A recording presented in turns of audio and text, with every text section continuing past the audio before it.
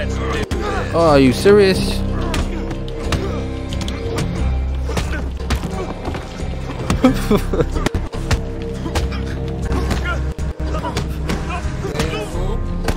Get out of here, son.